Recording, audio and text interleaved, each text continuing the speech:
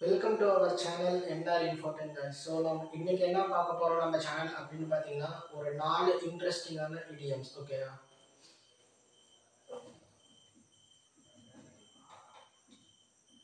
first idiom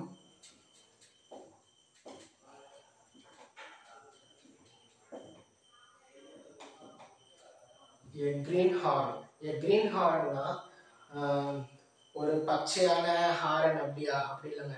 A green horn அப்படின்னா ஒரு inexperienced person அந்த பர்சனுக்கு எக்ஸ்பீரியன்ஸே கிடையாது.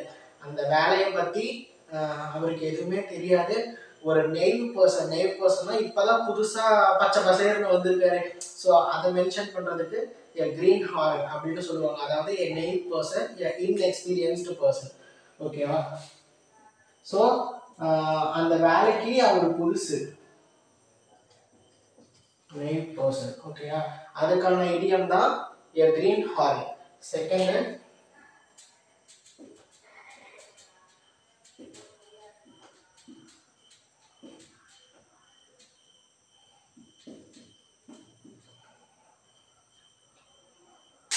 round the clock round the clock அப்படின்னா நாம சில இடத்துலலாம் டுவெண்ட்டி ஃபோர் இன்டூ செவன் அப்படின்னு யூஸ் பண்ணுவோம் பார்த்துருக்கீங்களா? அப்படின்னா என்ன அர்த்தம்னா இப்போ ஒரு கடை வந்து twenty four into seven run ஆகிட்டு இருக்கு அப்படின்னா முழு நேரமும் இருந்துகிட்டே தான் இருக்கு. ஸோ அதுக்கு பேர் தான் ரவுண்ட் தி கிளாக் அப்படின்னு சொல்லுவோம். Twenty four into seven round the clock இப்போ எக்ஸாம்பிள் சொல்ல சொல்ல போனோம்னு பார்த்தீங்கன்னா the shop open round the clock ஓகேயா இதுக்கு வந்து டுவெண்ட்டி ஃபோர் இன்டூ செவன் அது எப்பயுமே ஓப்பனில் இருக்கும் ஓகே அதுதான் ரவுண்ட் தி கிளாக் தேர்டு வந்து go to the extra mile go to the extra மைல்னா extra ரொம்ப தூரம் தாண்டி இருந்தால் கொஞ்சம் எக்ஸ்ட்ராவாக போகணுமா? அப்படி கிடையாது.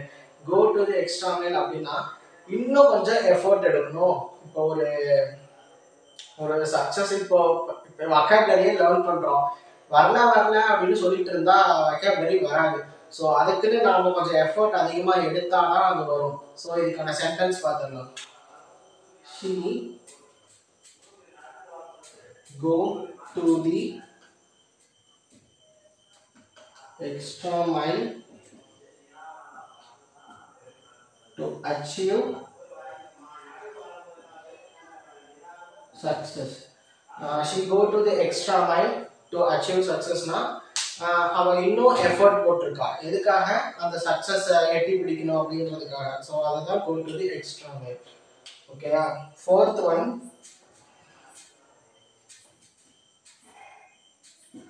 cook the book cook the புக்னா புக்கை போய் சமைக்கணும் அப்படியா அப்படி இல்லைங்க ஸோ இதை எப்படி நம்ம ஞாபகம் வச்சுக்கிறது அப்படின்னு பார்த்தீங்கன்னா ஏதாவது ஒரு டிஷ் இருக்குன்னு வச்சுக்கோங்க. அந்த டிஷ்ஷு நல்லா தான் இருக்கும். அதை நம்ம குக் பண்ணோம்னா ஃபஸ்ட்டு இருந்ததை விட அதனுடைய ப்ராப்பர்ட்டிஸ் வந்து சேஞ்ச் ஆகிருக்கும் ஸோ இந்த இடத்துல அதை எப்படி ஞாபகம் வச்சுக்கிறதுன்னு சொல்கிற பாருங்க. புக் அப்படின்றது ஒரு ஃபினான்ஷியல் ரெக்கார்ட்ஸ் ஒரு கம்பெனியோட அப்படி இல்லைன்னா ஒரு ஆர்கனைசேஷனோட ஒரு ஃபினான்ஷியல் ரெக்கார்ட் குக் குக் அந்த ஃபினான்ஷியல் ரெக்கார்டை குக் பண்ணுறது அப்படின்னா அந்த ஃபினான்ஷியல் ரெக்கார்டை ஃபால்சிஃபை பண்ணுறது பொய்யாக்குறது. ஸோ அது வந்து ஒரு இல்லீகலான மேட்டர் அப்படி அந்த மாதிரி அவங்க குக்தி புக் அது பண்ணினாங்கன்னா அந்த கம்பெனி வந்து ரன் ஆகாது. ஓகே இதுக்கான சென்டென்ஸ் பார்த்துடலாம். He cooks the book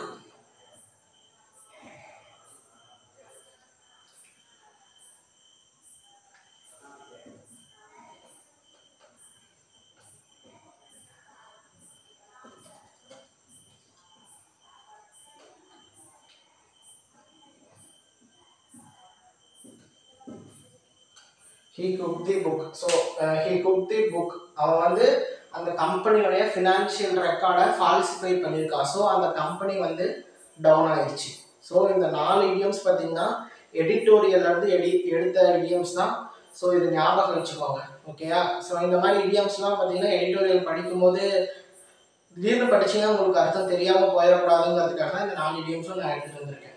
so இந்த நாலு வீடியோஸும் எனக்கு புதுசாக இருந்துச்சு அப்படிங்கிறவங்க வீடியோவுக்கு லைக் பண்ணுங்கள் சப்ஸ்கிரைப் பண்ணிட்டு போங்க. அது ஏன்னா சப்ஸ்கிரைப் பண்ணால் கொஞ்சம் எனக்கு வந்து மோட்டிவேட் ஆகும். சரி ஓகே ஏன்னா கொஞ்சம் பேர் இருக்காங்க போல வாட்ச் பண்ணுறதுக்கு அப்படின்னு. ஸோ அதுதான். ரொம்ப இன்ட்ரெஸ்டிங்காக இருக்கும். இன்னும் இது வந்து பிளேலிஸ்ட்டில் இடிஎம் செஷனில் ஆட் பண்ணிடுவேன். போய் பார்த்துக்கோங்க வேணுங்கிறவங்க until then bye from NR info time